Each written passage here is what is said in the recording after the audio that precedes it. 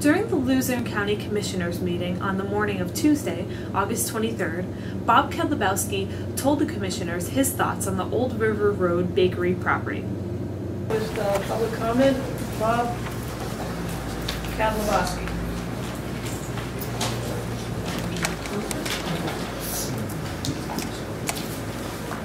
Thank you. I just I'd like to ask the commissioners and bring to your attention about this whole River Road property. I'm going to urge the commissioners not to go along with this.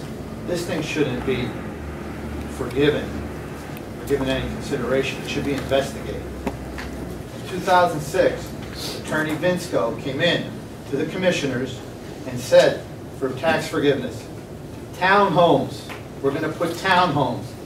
In this article, in the Times Leader, Mayor Thomas Leighton stated it was never going to be for townhomes. They lied to you, Maryanne, and lied to the other two commissioners, Greg Skrepenak and Vonderheid. They lied. And I'm asking you to stop this scam against the taxpayers of this city and this county. This is a scam. And I'm going to ask you not to go along with it. It shouldn't be forgiven. It should be investigated.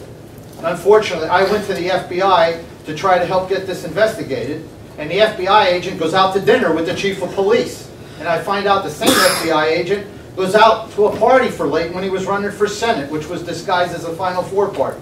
So the citizens need you to buckle down and say no. They lied. Lied, lied, lied. That's what they did. The mayor of the city of Wilkes-Barre is a liar. And that's all I can tell you. Don't go along with it. Go to the authorities and have it investigated. I almost lost my properties two year, three years ago, over $8,000 in back taxes. I was going to be sold out, 30-some years of work. And luckily, I was able to get a loan and pay it.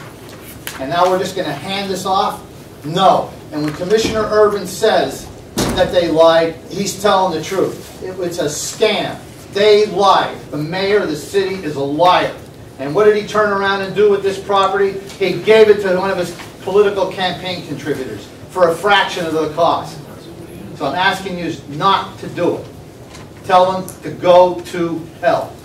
Now I'm going to go tow somebody away. See you later. you still want to ask me any questions, do you? No. You sure? Very good at talking.